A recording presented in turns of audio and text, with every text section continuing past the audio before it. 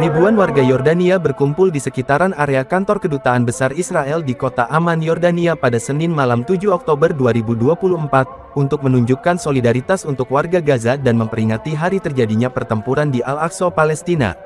Bukan hanya itu, warga Yordania juga meneriakkan slogan-slogan untuk Brigade Al-Qassam selama demonstrasi besar-besaran di lingkungan kantor kedubes Israel di Amman.